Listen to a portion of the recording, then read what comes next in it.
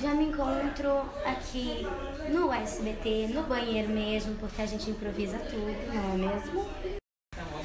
E hoje é dia de gravar o programa Silvio Santos. E aí o Amorinho veio me produzir, já fez a make, terminando o cabelo.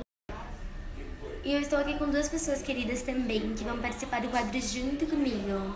Matheus Ueta e Jean Campos. É isso mesmo. E a gente vai gravar o quadro que vocês já conhecem, Talento Infantil. E quando eu souber a data que vai ao ar, eu aviso vocês, ok?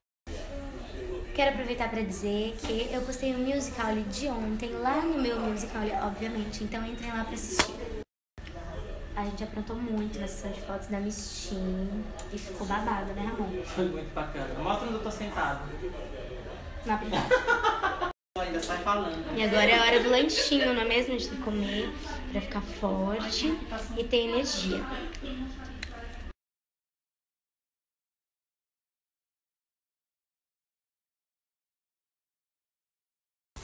Gente, eu ainda tô aqui no SBT e olha só o que o João, que é do figurino, veio me mostrar, gente. Esse tamanho de calça da Maria Joaquina aqui, ó. Aqui, ó, o nome, aqui, ó, a prova.